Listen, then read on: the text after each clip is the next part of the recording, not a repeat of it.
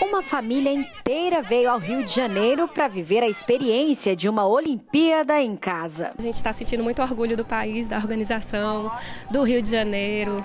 É, família, a união da família, a gente percebeu muita família aqui, muita tranquilidade e o Rio de Janeiro está de parabéns.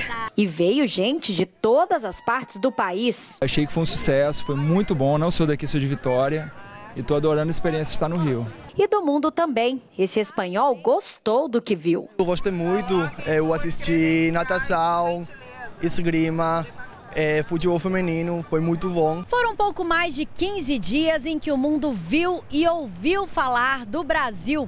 Agora um novo ciclo começa, um legado para o esporte brasileiro, para o país e para a cidade do Rio de Janeiro. É, foi sucesso fora das arenas e dentro delas também.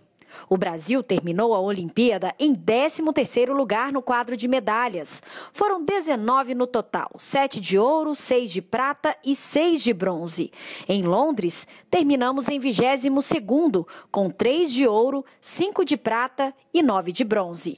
Para o ministro do Esporte, o resultado reflete o maior incentivo do governo federal aos atletas. Trabalho que vai ser mantido. Nós vamos agora reavaliar modalidade a modalidade, atleta a atleta, avaliar as categorias de base e preparar o próximo ciclo.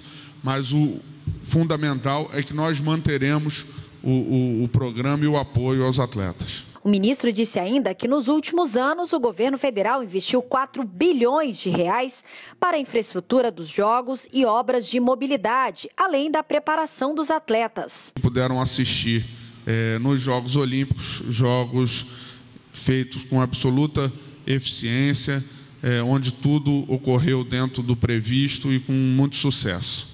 O jornalista americano também foi só elogios.